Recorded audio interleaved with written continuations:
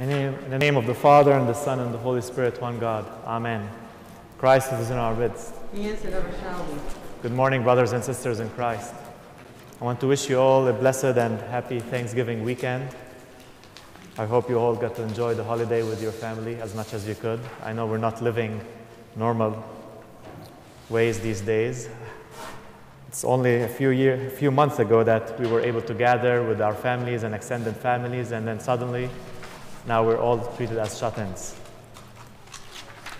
Who could have imagined this rapid change? It is, I think, that this type of abrupt change in our lives, it's like a sudden jolt, where one day we are traveling and gathering, and then suddenly we cannot.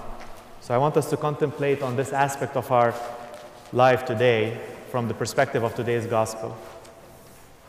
Today's gospel relates to us a parable, and it's uh, not a parable, but a real event that took place. A rich man comes and asks Jesus how he can inherit eternal life. Jesus responds by telling him, Do the commandments, and he lists some of them. The rich man says, I have done and observed all these commandments since my youth. What else can I do? And then Jesus tells him to go sell all that he has and come follow him. Of course, the rich man, being rich and with many possessions, found that hard to do. So he went away sad. And then Jesus, noticing that, says that it is easier for a camel to go through, through the eye of a needle than for a rich man to enter the kingdom of God. But then he also adds, What is impossible with man is possible with God.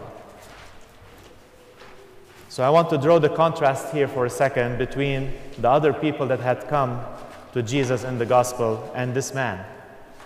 We have seen sick people, blind, leprous, demon possessed, women with the flow of blood, or women bent down for 18 years, paralyzed. They all come to Jesus and they all leave well, cured, justified, and joyous. But this man comes to him healthy, rich, probably well educated. He has all what the world could offer him, and he leaves sad and unjustified.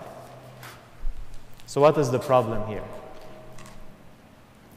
No doubt this man was missing something in his life. He was not fully content with what he had. Although he had a lot, he did not experience the joy that he was expecting from all the possessions that he had, even from the, all, all the good that he was doing. Because if he was living a good life, if he was following all the commandments since his youth, he was probably living a good life. So you see, he was interested in eternal life, so he started on the path of what he and probably his parents thought would lead to eternal life. And that path meant get educated, learn the commandments and do them, be respectful, and also live a good and comfortable life, gather wealth and power as you can in this world. Do not find yourself needing anyone else. Be independent. But do good deeds, help the poor, assist in the social causes that help lift up other people, help the oppressed. These are all noble and worthy notions to live by. And this man did them, but he was not content. He was not satisfied. When he came to Jesus, he did come to him in a similar fashion to the blind man and the paralyzed. He was missing something. He was less lacking of good and normal health. The difference is that blindness and being paralyzed are visible symptoms. But not being content, not being satisfied, is not a visible symptom. He was asymptomatic. Many times we find ourselves in the same state as this rich man. We plan, we forecast, and we go about chasing after something that we think will bring us joy. It could be a career path, a larger house, a degree in college, number of followers on Instagram, whatever it is. We go for it. And when we obtain it, we might feel a bit joyous for a few seconds or hours or maybe days. But then we fall back into a state that is similar to this rich man's state. I call the state the now what state. I have achieved what I had planned on achieving. Now what should I do?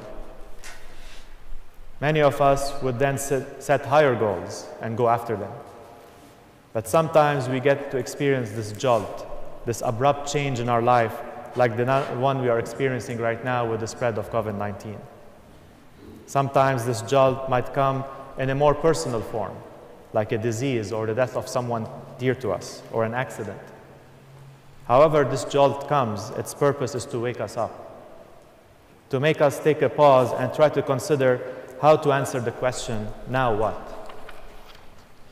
Do we continue on the same path, the path of more achievements, more goals to go after? Or do we try something different? Like asking God, what should we do to inherit eternal life? See, this guy in today's gospel can be imagined coming to Jesus in two different ways. The first way is this pompous pride person, A type personality. He knows it all. He has learned and achieved all the commandments since his youth. He has gathered riches, and he has come in a way that is challenging to Christ. In this way, we could imagine his question to Christ be like, Tell me, Jesus Christ, do you think I deserve eternal heaven, eternal life, because of all I have achieved? Tell me, what else do you think I'm missing? Or the second way that we can imagine this guy coming to Christ is someone who has been in search of eternal life. He has done all that the law has told him to do. He has learned the commandments and done them. He has lived a good life. He comes to Jesus asking him, God, please tell me what else do I need to do? Because, because all this is not getting me anywhere. I feel miserable. I am in despair. How can I get eternal life, eternal joy?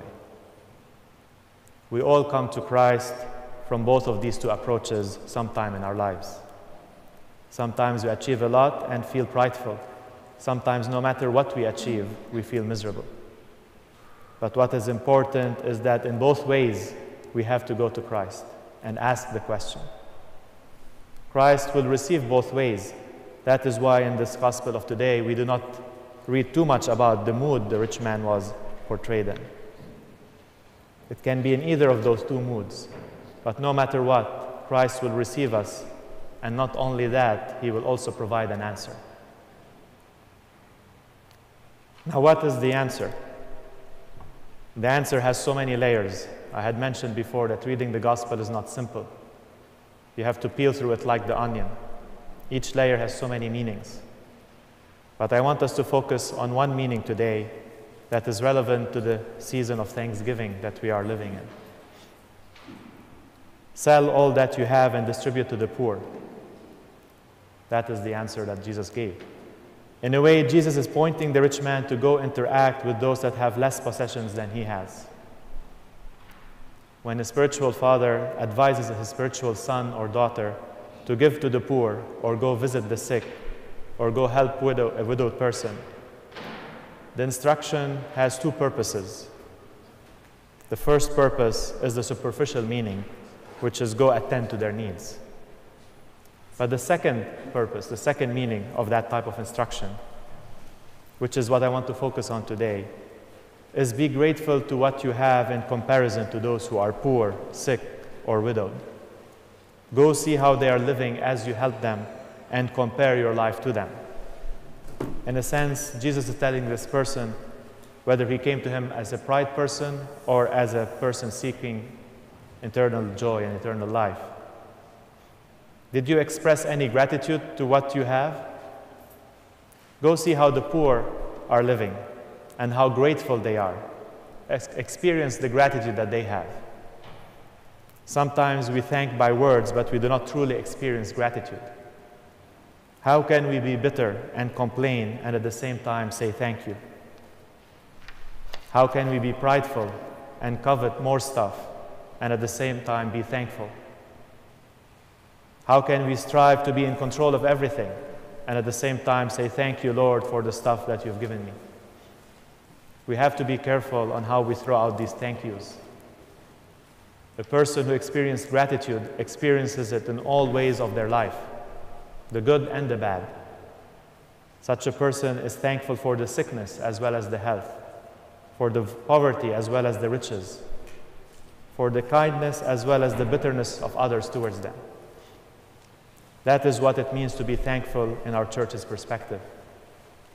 And if we cultivate this type of experience by being thankful, then no matter what gets thrown at us in life, this worldly life, then we know it is for our benefit to eternal to inherit eternal life. Why do we know that?